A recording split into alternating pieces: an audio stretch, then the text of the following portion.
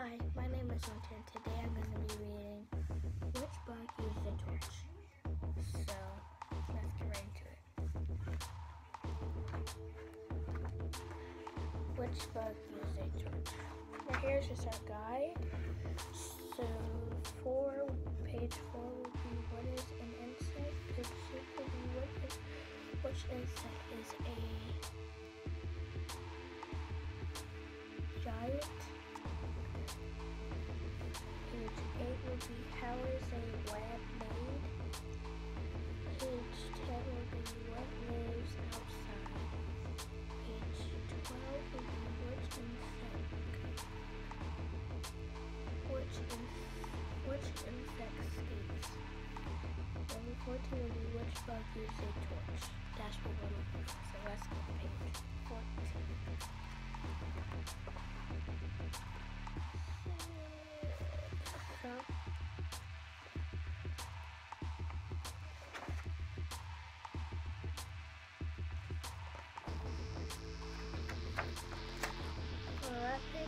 page 14. And this is which, which bug you think? Which think?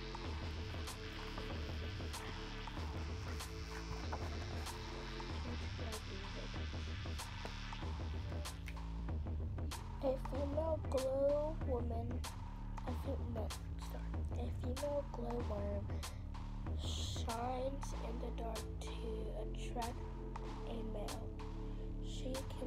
Fly but sits on the grass and flashes out a message with her tail. When she waits for a male to fly by and answer glowworms, and answer glowworms are not worms at all, but are a kind of beetle.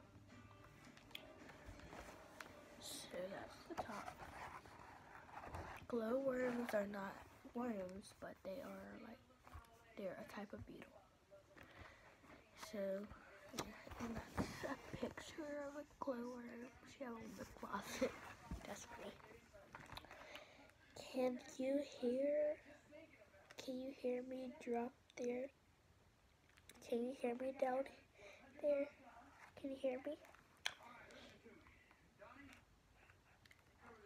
A cricket does not have ears on its head. They are on its front legs instead. On its instead skin skin stretches all over them.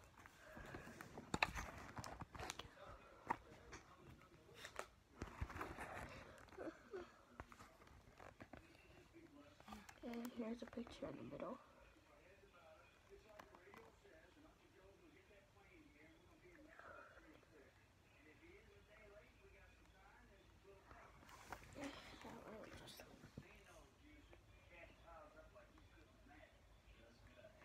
Uh, that was page 14.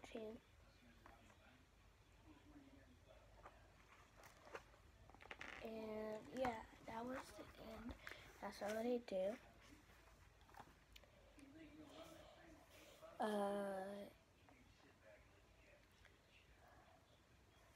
this is actually like something about. That a glowworm, yes, a glowworm.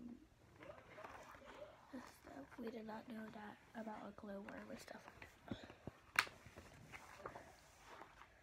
And if you want to learn about any other things, you can.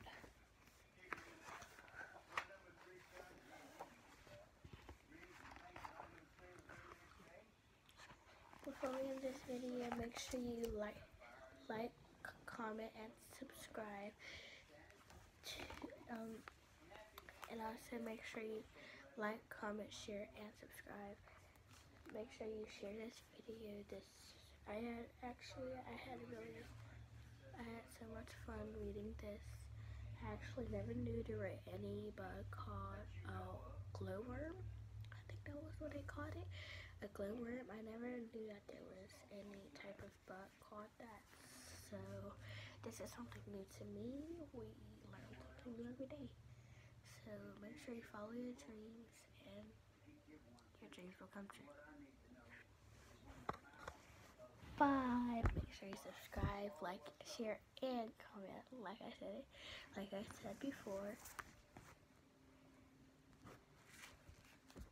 Bye.